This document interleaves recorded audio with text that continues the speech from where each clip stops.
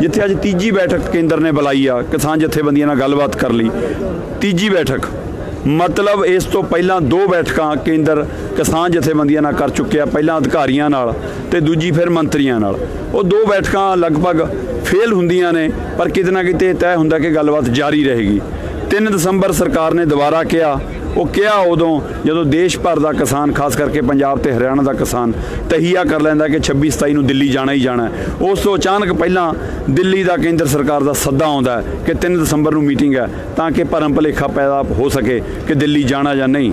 ਪਰ ਪੰਜਾਬ ਤੇ ਹਰਿਆਣਾ, ਰਾਜਸਥਾਨ ਯੂਪੀ ਉਹਨਾਂ ਸਾਰਿਆਂ ਨੇ ਤੈਅ ਕਰ ਲਿਆ ਸੀ ਕਿ ਅਸੀਂ ਦਿੱਲੀ ਜਾ ਕੇ ਰਹਿਣਾ, ਬੈਠਕ ਕਰਨੀ ਉਹ ਕਰਨੀ ਹੈ।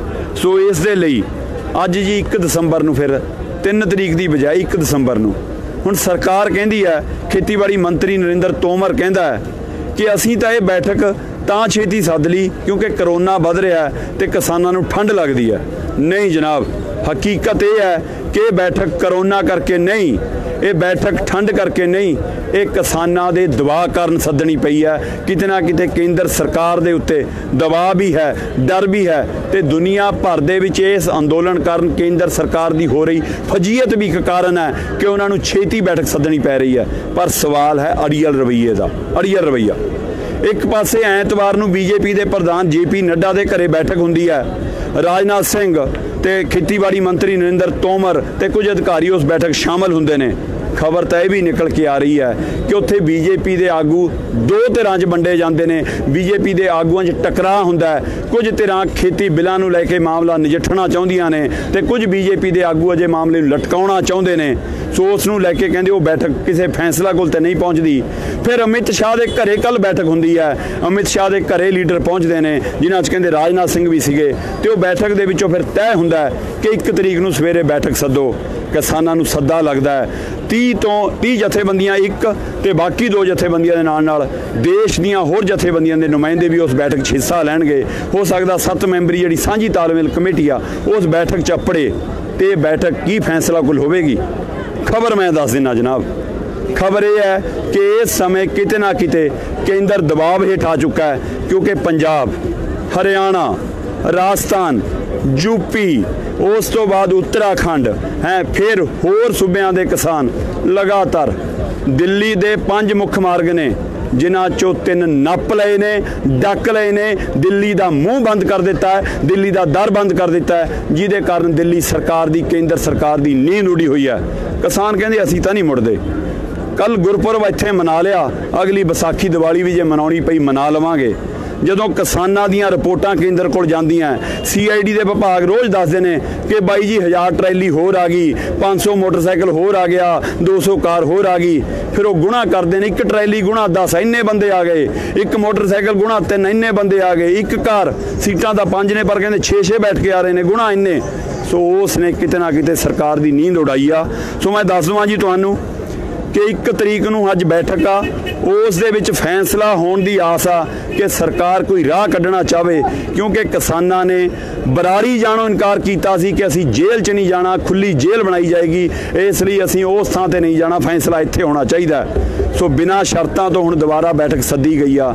ਅਮਿਤ ਸ਼ਾਹ ਤੇ ਰਾਜਨਾਥ ਹੁਣ ਭੂਮਿਕਾ ਨਿਭਾਉਣਾ ਚਾਹੁੰਦੇ ਨੇ, ਪਰ ਪ੍ਰਧਾਨ ਮੰਤਰੀ ਨਰਿੰਦਰ ਮੋਦੀ ਕੱਲ ਫਿਰ ਆਖਦੇ ਨੇ ਕਿ ਬਿੱਲ ਬਾ ਕਮਾਲ ਨੇ, ਬਿੱਲ ਇਤਿਹਾਸਕ ਨੇ। ਕੀ ਦੋਰੀ ਖੇੜਾ ਕਿਸਾਨਾਂ ਨਾਲ ਫਿਰ ਕੋਈ ਦੋਰੀ ਚਾਲ ਚੱਲੀ ਜਾ ਰਹੀ ਆ? ਤੇ ਜਿੱਥੋਂ ਤੱਕ ਰਾਹਾਂ ਦੀ ਗੱਲ ਆ, ਜਿਹਦੇ ਕਾਰਨ ਦਿੱਲੀ ਘਿਰੀ ਆ। ਪਹਿਲਾ ਰਾਹ ਅੰਮ੍ਰਿਤਸਰ, ਚੰਡੀਗੜ੍ਹ, ਦਿੱਲੀ ਮਾਰਗ, ਸ਼ੇਰਸ਼ਾਹ ਸੂਰੀ ਮਾਰਗ। ਬਿਲਕੁਲ ਜੀ। ਸ਼ੰਭੂ ਤੋਂ ਚੱਲਿਆ ਹੋਵੇ ਕਾਫਲਾ, ਖਨੌਰੀ ਤੋਂ ਚੱਲਿਆ ਹੋਵੇ ਕਾਫਲਾ, ਹਰਿਆਣਾ ਤੋਂ ਚੱਲਿਆ ਹੋਵੇ ਕਾਫਲਾ, ਪੰਜਾਬ ਤੋਂ ਚੱਲਿਆ ਹੋਵੇ ਕਾਫਲਾ, ਸਾਰੇ ਨਾਕੇ ਟੁੱਟਦੇ ਰਹੇ ਤੇ ਦਿੱਲੀ ਆ ਕੇ ਸਿੰਧੂ ਬਾਰਡਰ, ਕੁੰਡਲੀ ਬਾਰਡਰ ਵਾਲਾ ਨਾਕਾ ਵੀ ਤੋੜ ਲਿਆ ਗਿਆ ਤੇ ਤੋੜ ਕੇ ਕਿਹਾ ਕਿ ਹੁਣ ਨਹੀਂ ਦਿੱਲੀ 'ਚ ਵੜਦੇ ਆ ਦਿੱਲੀ ਦੇ ਮੂੰਹ ਤੇ ਬੈਠੇ ਆ ਦੂਜਾ ਰਾਹ ਦੂਜਾ ਰਾਹ ਜੀ ਬਠਿੰਡਾ, ਪਟਿਆਲਾ, ਰੋਹਤਕ ਰੋਡ ਤੋਂ ਆਉਣ ਵਾਲਾ, ਜਿੱਥੇ ਟਿੱਕਰੀ ਬਾਰਡਰ 20 ਕਿਲੋਮੀਟਰ ਤੱਕ ਦਾ ਕਾਫਲਾ ਉੱਥੇ ਬੈਠਾ ਹੈ। ਹਰਿਆਣਾ, ਰਾਜਸਥਾਨ ਦੇ ਨਾਲ ਪੰਜਾਬ ਡਟਿਆ ਹੈ ਤੇ ਟਿੱਕਰੀ ਬਾਰਡਰ ਵੀ ਦਿੱਲੀ ਦੇ ਮੂੰਹ ਤੇ ਆ ਕੇ ਬੈਠ ਗਏ ਕਿ ਦਿੱਲੀ 'ਚ ਨਹੀਂ ਵੜਨਾ, ਦਿੱਲੀ ਦਾ ਰਾਹ ਬੰਦ ਕਰਨਾ। ਤੀਜਾ ਜੀ, ਦਿੱਲੀ ਗਾਜ਼ੀਆਬਾਦ ਮਾਰਗ ਹੈ, ਜਿਹਨੂੰ ਸੀਮਾਪੁਰ ਬਾਰਡਰ ਕਹਿੰਦੇ ਨੇ। ਦਿੱਲੀ ਗਾਜ਼ੀਆਬਾਦ, ਲੋਨੀ ਬਾਰਡਰ ਜਿਹਨੂੰ ਕਹਿੰਦੇ ਨੇ। ਇਸੇ ਤਰ੍ਹਾਂ ਦਿੱਲੀ ਮੇਰਠ ਐਕਸਪ੍ਰੈਸ ਹੈ, ਜਿਹਨੂੰ ਗਾਜੀਪੁਰ ਬਾਰਡਰ ਕਹਿੰਦੇ ਨੇ। Delhi Noida link road border ਹੈ।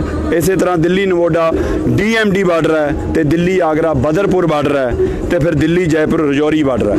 ਪਰ ਮੁੱਖ ਤੌਰ ਤੇ ਪੰਜ ਬਾਰਡਰ ਨੇ। ਪੰਜਾਂ ਦੇ ਵਿੱਚੋਂ ਤਿੰਨ ਬੰਦ ਨੇ ਜੀ। ਕੁੰਡਲੀ ਬਾਰਡਰ ਜਿਹਨੂੰ ਸਿੰਧੂ ਬਾਰਡਰ ਕਹਿੰਦੇ ਨੇ, ਉਹ ਪੂਰੀ ਤਰ੍ਹਾਂ ਬੰਦ ਹੈ। ਉਸ ਤੋਂ ਬਾਅਦ ਟਿੱਕਰੀ ਬਾਰਡਰ, ਉਹ ਪੂਰੀ ਤਰ੍ਹਾਂ ਬੰਦ ਹੈ। ਤੇ ਉਸ ਤੋਂ ਬਾਅਦ ਜਿਹੜਾ ਦਿੱਲੀ ਮੇਰਠ ਐਕਸਪ੍ਰੈਸ, ਗਾਜੀਪੁਰ, ਉਹ ਯੂਪੀ ਤੇ ਉੱਤਰਾਖੰਡ ਵਾਲਿਆਂ ਨੇ ਕੱਲ ਬੰਦ ਕਰ ਦਿੱਤਾ। ਠੀਕ ਹੈ ਥੋੜਾ ਬਹੁਤ ਗਿਣਤੀ ਮਿੰਟੀ 'ਚ ਫ਼ਰਕ ਹੋ ਸਕਦਾ ਪਰ ਉਹ ਵੀ ਬੰਦ ਹੈ। ਤੇ ਖਬਰ ਆ ਰਹੀ ਹੈ ਕਿ ਅੱਜ ਦਿੱਲੀ, ਆਗਰਾ, ਜੈਪੁਰ ਵਾਲਾ ਰੋਡ ਵੀ, ਉਹ ਵੀ ਬੰਦ ਹੋਣ ਜਾ ਰਿਹਾ ਸੋ ਚਾਰ ਪਾਸਿਓਂ ਦਿੱਲੀ ਘਿਰ ਗਈ ਹੈ, ਕਹਿੰਦੇ ਇੱਕ ਪਾਸਾ ਰਹਿੰਦਾ, ਉਹ ਵੀ ਅੱਜ ਘਿਰ ਜਾਣਾ। ਖਾ ਪੰਚਾਇਤਾਂ ਦਾ ਨਾਲ ਆ ਜਾਣਾ, ਵੱਡੀ ਗੱਲ ਹੈ। ਕਹਿੰਦੇ ਚਲੋ, ਕਦੇ ਨਾ ਕਦੇ ਦਾ ਸਹੀ ਫੈਸਲਾ, ਕਹਿੰਦੇ ਖੈ ਪੰਚਾਇਤਾਂ ਨੇ ਲਿਆ ਤੇ ਕਿਸਾਨ ਵੱਡੀ ਗਿਣਤੀ ਜਦੋਂ ਆ ਗਏ ਨੇ, ਆਮ ਵਰਗ ਜਦੋਂ ਨਾਲ ਆ ਗਿਆ। ਸੋ ਅੱਜ ਦੀ ਮੀਟਿੰਗ ਦੇ ਉੱਤੇ ਬਹੁਤ ਵੱਡੀ ਟੇਕ ਹੈ।